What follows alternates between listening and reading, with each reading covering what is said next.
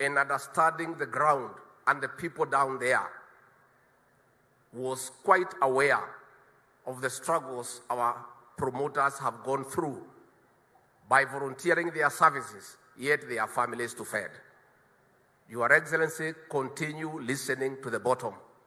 Continue listening to the grassroots people. And that is how you are making decisions that are well informed and grounded with the ordinary Wananchi. As I wind up before I call the President, the Governor of Tharaka Nithi